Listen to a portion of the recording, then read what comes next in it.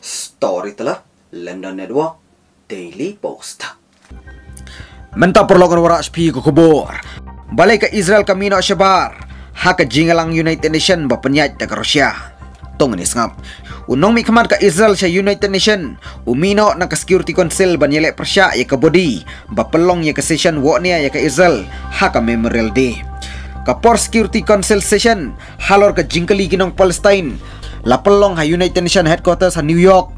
Balayalam da ke Rusia. Ka Israel ka bitar na marki jinggerpat jongki ban bu pat hakawi ke por ke jinga tainia kala sya kan taj. Unong mikmat ka Jerusalem ha jing bitar ula puli wat iki kerteng jongki nong Israel bayap ha kasnem balalek banile persya bat hadin umi no syabar. Ukan taj bandan bentai kan session This council refuses to respect their memory. I will dedicate this speech to their memory.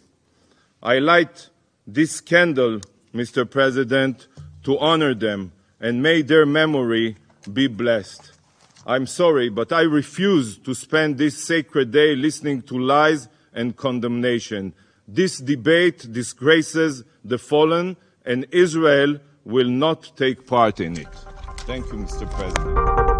Shuaban mi ke Israel Shabar, ke Palestine ke Lathere ke Jerusalem, namar ke Penkenya ke Jing Ibor United Nation. Had the UN Charter been upheld, had the Security Council's resolutions be implemented, peace would have prevailed in Palestine a long time ago. Ka Amerika rukum ju kala salat ke Israel, ka kedau ya ke Tombor ha Al-Aqsa Mosque berang Shibit ha Jerusalem.